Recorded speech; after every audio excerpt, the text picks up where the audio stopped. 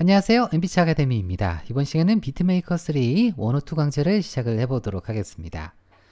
저희 MBC 아카데미 비트메이커 강좌를 통해서 기본적인 비트메이커의 사용 방법과 컨셉에 대해서 이해를 해보셨을 텐데요. 102 강좌에서는 조금 더 디테일한 내용들에 대해서 살펴보도록 하겠습니다.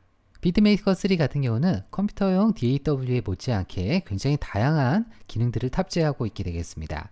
기본적으로 다채로운 샘플링 기능들을 탑재하고 있게 되겠습니다. 때문에 여러분께서 자신만의 샘플을 import를 해와서 샘플링을 할 수 있다든지 아니면 비트메이커 자체의 샘플링 기능을 이용해서 다양한 앱들에서 샘플링을 할 수도 있게 되겠고요.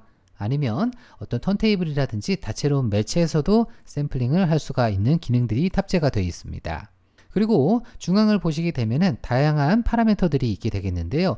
이 기능들을 통해서 샘플의 파라미터들을 변경할 수 있고 그리고 time stretching이라든지 pitch shifting도 가능하게 되겠습니다.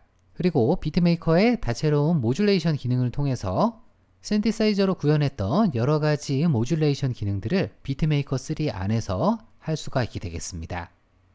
그리고 매크로의 기능을 통해서 에이블턴 라이브처럼 다채로운 파라미터들을 실시간적으로 변경할 수도 있게 되겠고 그리고 여러분의 하드웨어를 직접 이렇게 아이패드에 연결을 해서 실시간적으로 컨트롤을 하면서 또 이렇게 퍼포먼스를 할 수도 있는 기능도 탑재가 되어져 있게 되겠습니다.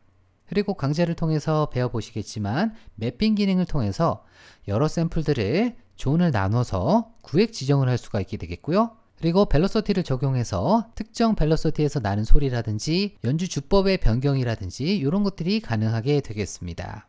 그리고 one o two 강좌에서는 Audio Unit이라든지 inter app들을 사용을 해서 작업을 하는 방식에 대해서 알아볼 거고요. 그리고 이 앱들을 이용해서 샘플링을 하는 방식도 알아보도록 하겠습니다. 그리고 비트메이커 3의 가장 큰 장점이죠. iOS용 앱이기 때문에 여러분들께서 이 아이패드만 가지고 언제 어디서든 음악 제작을 할 수 있다는 큰 장점이 있게 되겠습니다. 그리고 강좌를 함께 공부하시면서 기능들에 대해서 구체적으로 살펴보시게 되면 굉장히 컴퓨터용 DAW와 차이점이 없을 정도로 아주 좋은 작업 환경을 제공하고 있게 되겠습니다. 좋습니다. 그러면 다음 시간부터 디테일하게 한 걸음씩 들어가 보도록 하겠습니다. 다음 시간에 찾아뵙도록 할게요. 감사합니다.